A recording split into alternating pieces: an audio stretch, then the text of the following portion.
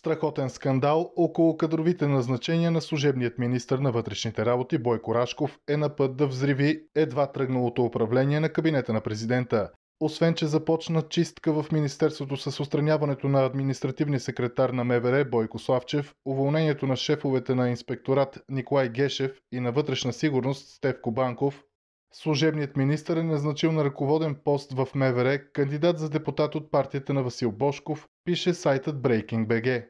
Според информацията на медията, Рашков пристигнал в МВР заедно с Елена Павлова Фичерова Карайванова, която вече е началник на кабинета на вътрешния министр. Кара Иванова е сред учредителите на партията на Васил Бошков Българско лято. Припомнят от сайтът и публикуват учредителен протокол за създаване на партията Българско лято от 3 януари 2021 година. Кара Иванова е избрана за член на изпълнителния съвет на Българско лято под номер 13. От официална справка в ЦИК става ясно, че Елена Фичерова Карайванова е регистрирана като кандидат-депутат от партията мандатоносител на Бошков Българско национално обединение в 23-ти МИР София.